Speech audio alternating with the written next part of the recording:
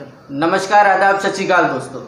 मैं जगवीर सिंह। आज हम जिनके साथ हैं, उनको किसी भी तरीके की परिचय की ज़रूरत नहीं है। सिंधु थाई सबकाल जहाँ तक है, सभी राष्ट्रपतियों ने इनको अवार्ड दिए, चार राष्ट्रपतियों ने इनको अवार्ड दिए। इन्होंने जीवन बसर करने के लिए जाने क्या क्या नहीं किया।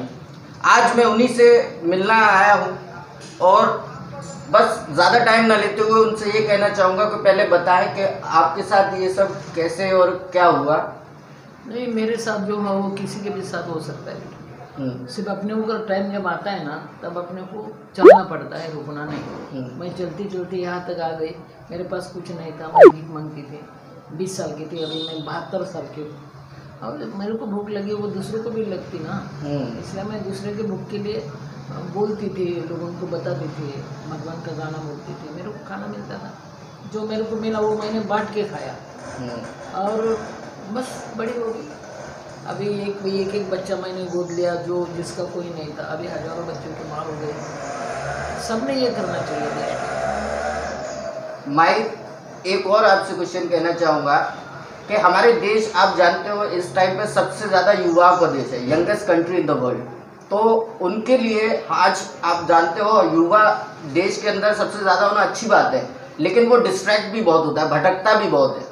वो उसको डर है कि मैं फेल हो जाऊँगा, इस वजह से वो कुछ करना नहीं चाह रहा तो उनके लिए आप कुछ बताएँ तो ज़्यादा सही है।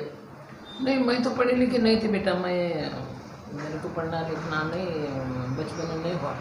तो मैं रोते नहीं बैठी ना। मैं चलती, तब मैं युवा थी ना। तब मैं भी तरुण थी ना बेटा जवान थी, बीस साल की थी। तो मैं भटकी नहीं, इसलिए इतनी बड़ी हो गई, इतनी देर तक चलती चलती चलती, अभी यहाँ तक आ गई। तुम्हें भी भटकना नहीं चाहिए बेटा। जो माँ बाप ने अपने को जन्म दिया ना, उसके लिए कम करो, उसके लिए अच्छा हो। माँ बाप को खुशी होगी ना रे उन्होंने क्या क्या नहीं किया तुम्हारे लिए बेटा। देश के लिए तुम खड़े हो ना माँ बाप के लिए खड़े हो जाओ, पड़ोस पड़ोस के लिए खड़े हो जाओ, मिट्टी के लिए खड़े हो जाओ, देश के लिए खड़े हो जाओ रे।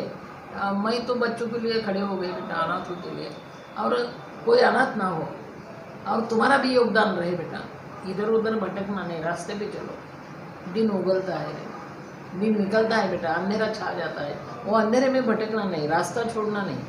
अंधेरे से बाहर आना और दूसरों को भी बाहर लाना। ये तो अपना ज़िंदगी का मकसद होता है। मैं एक चीज़ और आपसे पूछना चाहूँगा।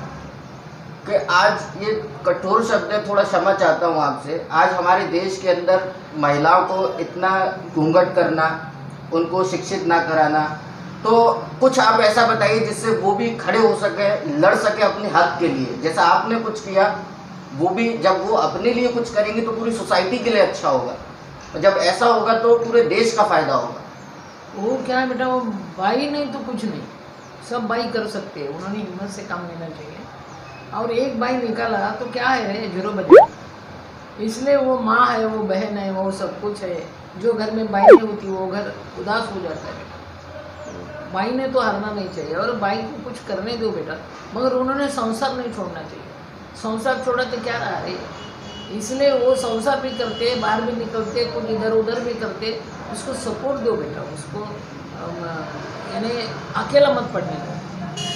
उसके साथ हो जाओ वो अच्छे रहेंगे उसको बोलो क्या करना है।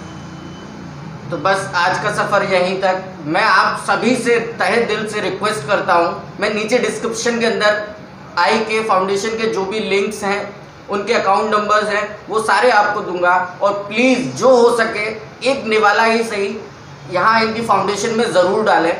माई आप भी कुछ कहना चाहो तो कह सकते हो। हाँ आप सब मदद कर सकते हैं बेटा। आपके मदद पर ही खड़ा है मेरा सब कुछ।